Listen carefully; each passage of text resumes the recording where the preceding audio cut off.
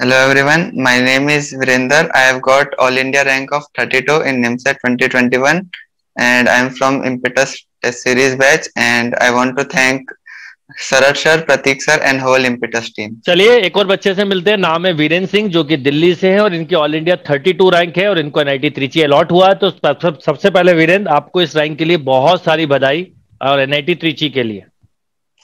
Thank you sir मैं तो सबसे पहले आपको सर ओ, प्रतीक सर को और पूरी इम्पिटस टीम को थैंक यू बोलना चाहता हूँ। मैं अपने पेरेंट्स और फ्रेंड्स को भी थैंक यू बोलना चाहता हूँ। बहुत सपोर्ट दिखाया उन्होंने भी। तो मेरी जर्नी की शुरुआत होती है मैंने थर्ड ईयर में थर्ड ईयर बीसीए के साथ ही किया था ये रैंक तो शुरू में तो पहले मैं आपकी वीडियो देखता था यूट्यूब पे तो वहीं से पता चला कि निमसेट होता है। आ, तो आ, तब से करा था। पहले तो ऑनलाइन ही देखा था। कि यूट्यूब पे वगैरह से कि मैथ प्रिपेयर करने के लिए। तो जब मैथ हो गई थी तो आ, फिर फैब में आप ही के वीडियो से पता चला कि हाँ टेस्ट सीरीज़ लेनी बहुत ज़रूरी होती है। तो फिर मैंने टेस्ट सीरीज़ आपकी ली। तो पहले तो शुरू में बहुत डर लगता था ऐसे टेस्ट देने में कि ऐसे इतने सारे बच्चे अगर कहीं नंबर कम आ गए तो ऐसे डर जैसा लगता है शुरू में कि कम नंबर से। लेकिन फिर देते गए तो फिर वो डर कम होता गया। तो शुरू में तो उतने नंबर नहीं आते थे, लेकिन आपने हर एनालिसिस क्लास में यही बोला है कि टेस्ट देना उतना, उससे ज़्यादा ज़रूरी है कि टेस्ट का आप एनालिसिस कैसे करते हो। तो उसी एनालिसिस करते गए तो एनालिसिस से ही पता चला कि हाँ इसी से इम्प्रूव होता है। मतलब टेस्ट दे के तो स्कोर उतना इम्प्रूव नहीं होता, लेकिन जो उसके बाद छह घंटे एनालिसिस करते हैं, उसमें पता चलता है कि हम कहाँ लैग कर रहे हैं, हम हमको क्या इम्प्रूव करना है तो उसी एरिया पे ज़्यादा फोकस होता है। तो ऐसे ऐसे करते करते फिर आप अलग अलग टाइप की टेस्ट सीरीज़ देते थे, जैसे मैथ मैथ का अलग सेक्शन होता था, जिसमें 120 क्वेश्चन होते थे। उससे ये होता था कि सारे मैथ के उससे डर नहीं लगता था कि इतने सारे क्वेश्चन भी होते थे, तब भी डर नहीं लगता था। और एक सबसे बढ़िया बात आपके लगी कि जैसे आप बोलते थे कि क्वेश्चन को स्किप करना सीखो। शुरू के टेस्ट में तो मैं ऐसे करता था कि हाँ ये क्वेश्चन पे लगे रहो। दो मिनट जा रहे, तीन मिनट जा रहे, लेकिन लगे पड़े। लेकिन जैसे जैसे आप बताते गए, फिर वही करते गए और फिर बाद में रियलाइज़ हो ही गया था। जैसे मार्क्स इंप्रूव हुए कि हाँ यही सबसे बढ़िया टेक्निक होती है।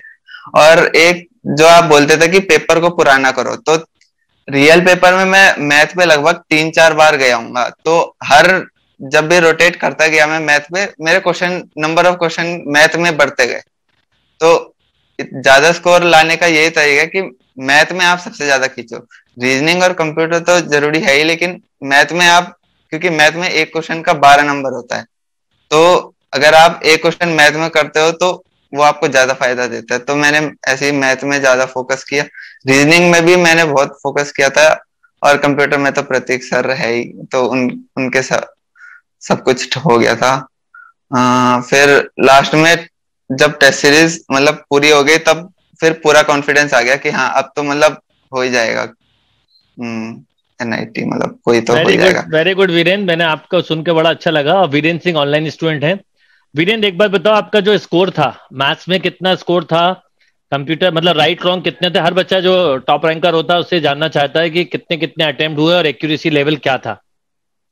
आ, तो मैंने 43 अटेम्प्ट करे थे जिसमें से हाँ चार पाँच गलत हो गए थे वो मेरी सिली मिस्टेक थी। लेकिन फिर भी बाकी तो सही हो गए थे। और कुछ क्वेश्चन तो कैंसिल हो गए थे उससे थोड़ा स्कोर मतलब वो तो सबका ही हुआ होगा। और रीजनिंग में मेरे 200 प्लस थे कंप्यूटर में 56 ऐसे मार्क्स थे। और इंग्लिश पे मैंने उतना ध्यान नहीं दिया मतलब इंग्लिश का टाइम मैंने मैथ को दे दिया था। ये बहुत तो इंग्लिश अच्छा में बस फोर्टीन ही नंबर आए। अच्छा घर पे पढ़ाई करने में कई सारे चैलेंजेस आते हैं ना? तो उन चैलेंजेस को आपने कैसे फेस किया? क्योंकि देखो जब कोई बच्चा टॉप करता है अच्छी रैंक लाता है तो उसको हर कोई सुनना भी चाहता है और उसको सुन के उसको फॉलो भी करते हैं। तो मैं ये जानना चाहता हूँ क्योंकि आप दिल्ली से हो तो आप घर पे रह के जब पढ़ाई करते थे तो आपको क्या क्या चैलेंजेस आए और उनको कैसे दूर किया? तो सबसे बड़ा चैलेंज तो ये होता है कि मोटिवेशन कैसे जैसे हम, पहले तो मैं उतना नहीं पढ़ा करता था, मैं एवरेज स्टूडेंट हूँ। तो फिर जब मतलब आपके लास्ट ईयर के बच्चों के सेशन देखे थे तो देखा कि हाँ उसमें भी ऑनलाइन के बच्चे थे तो मैंने सोचा कि अगर ये कर सकते हैं तो हम भी कर ही सकते हैं।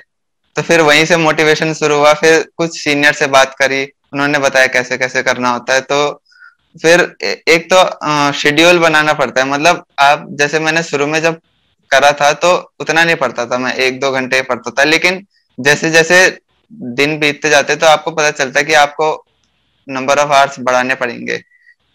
तो वैसे करते गए और लास्ट में आते आते तो आपको पता ही चल जाता है कि आपको कितना मतलब कितना फिर तो पता ही वो हो जाता है कि घड़ी देखने के भी टाइम वो नहीं पड़ती आप बस पढ़ते ही जाते हो। मतलब मन लग जाता है फिर। और सबसे इम्पोर्टेंट मतलब शुरू के अगर 21 दिन कर लेते हैं ना कंसिस्टेंसी तो उसके बाद तो खून में जैसे हो जाती है कंसिस्टेंसी बिल्कुल मतलब अगर एक दिन भी बंद करते हैं ना तो ऐसा लगता है कि बिल्कुल बहुत दूर हो गए पढ़ाई से। तो सबसे इम्पोर्टेंट कंसिस्टेंसी ही है। बिल्कुल सही बात बोली वीरेन।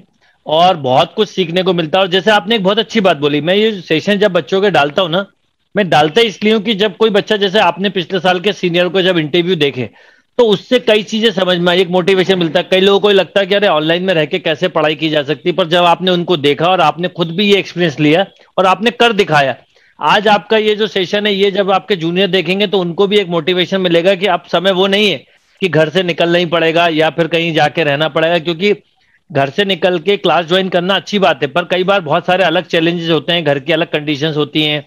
हम फाइनल ईयर में तो कॉलेज का भी प्रेशर होता है हॉस्टल में रहना। तो आप बच्चों को इन इन सेशन से बहुत मोटिवेशन मिलता है।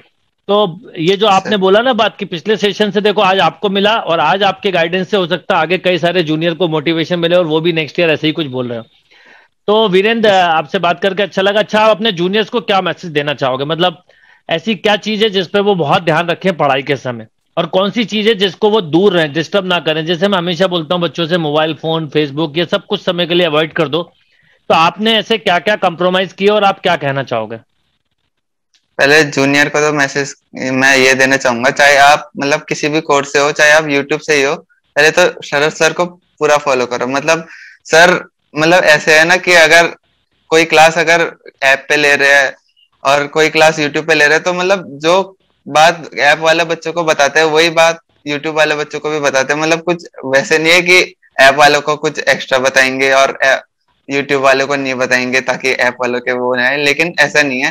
मतलब जो आप, जो यूट्यूब पे भी बता रहे हैं, बिल्कुल डॉट टू डॉट वही बच्चों को, बाकी बच्चों को भी बता रहे हैं तो ऐसा नहीं है कि आप यूट्यूब पे मिसगाइड करते हैं तो मतलब अगर कोई यूट्यूब भी देख रहा है ना तो तभी बहुत वो मोटिवेशन और इनफ वो है कि आप कर सकते हो। और बाकी बच्चों को मैं तो यही बोलूँगा कि अगर आप कंसिस्टेंट रहते हो और आ, सबसे इम्पोर्टेंट है टेस्ट एनालिसिस वो तो हर कोई बोलेगा ही आपको टेस्ट एनालिसिस तो वही सबसे मेन भी है। तो आप टेस्ट का देने के बाद एनालिसिस बहुत करें। मतलब अभी तो पहले मैथ का वो ज़्यादा ध्यान दे। लास्ट के तीन चार महीने में जब मतलब मॉक मॉक वाली टेस्ट सीरीज़ होती है तो उस पर ज़्यादा ध्यान दे। और पैनिक ना हो। लास्ट ये हमारे बहुत सारे दोस्त ने लास्ट में मुझे बताया कि हम पैनिक हो गए थे। मतलब उनके कुछ के तो मेरे से भी बढ़िया नंबर आते थे बहुतों के आते थे। तो वो बोलते थे कि यार पेपर में पैनिक हो गए। तो मैं तो ये बोलूँगा कि फ्री माइंड से पेपर दे। मैंने जब वहाँ पेपर दिया तो आ, मुझे ऐसा लगा कि मैं इम्पिटस की टेस्ट सीरीज़ दे रहा हूँ। मैंने यही मान के दिया। तो मेरे में कोई वैसा डर जैसा नहीं था। तो वही ऐसी ही फीलिंग आपके अंदर होनी चाहिए उस पेपर के दिन। बस ये बोलना चाहूँगा। बहुत अच्छी बात बोली वीरेंद्र आपने। देखिए एक चीज़ होती है क्या होता है कि यूट्यूब पे पढ़ाना आसान नहीं होता और यूट्यूब पे भी मैं उतनी मेहनत करता हूँ मेरा कभी पार्शलिटी में करता ही नहीं हूँ। मेरा ये मानना है कि जो बस ये होता है कि जब कोई बच्चा ज्वाइन कर लेता है तो उसके अंदर एक रेगुलेटरी और डिसिप्लिन आ जाता है। तो वो क्लासेस बड़ी फोकस हो जाती है ऐप पर। पर मैं यूट्यूब पे भी अपनी तरफ़ से तो कोशिश करता हूँ बेस्ट इन्फॉर्मेशन दू जो आपने खुद भी बोला। और एक सबसे अच्छी बात जो बोली ना कि अगर कोई बच्चा जैसे आप बिल्कुल सही कह रहे हो कई बच्चों ने पैनिक पैनिकनेस की वजह से अपनी रैंक बिगाड़ दी जबकि वो टेस्ट में अच्छा परफॉर्म कर रहे थे।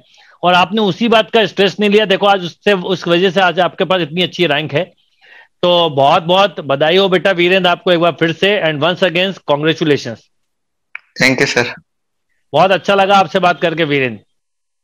थैंक यू सर मज़ा आ गया। मतलब पहले कभी ऐसा सेशन हुआ नहीं है मेरे साथ तो पहली बार ही ऐसा वो अब आगे ऐसे बहुत सारे सेशन होंगे।